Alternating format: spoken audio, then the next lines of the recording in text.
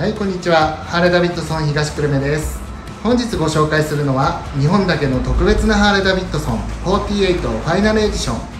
ァイナルエディションは日本限定1300台です。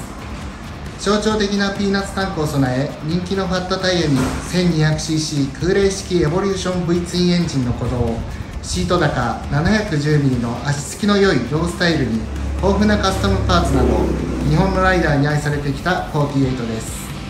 48ファイナルエディションはこうした特徴はそのまま残しながらもゴールドのスタッズとレザーに刻まれた Bar & Shield が象徴的なロバーソロサドル。ファイナルエディションの文字と赤色の CR ナンバーが輝く車体右面のサイドカバー。ハーレーの伝統を感じさせるノスタルジックハンドルグリップ。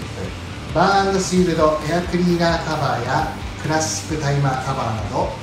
限定モデルにふさわしい装飾がモーターサイクル各所に散りばめられています。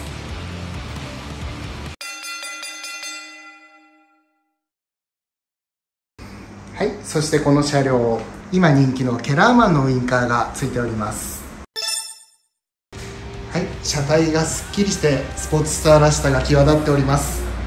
えー、そして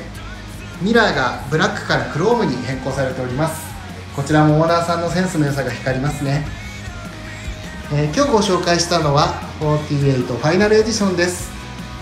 えー、皆様ぜひチャンネル登録よろしくお願いします。彼田ミッドソン東久留米でした。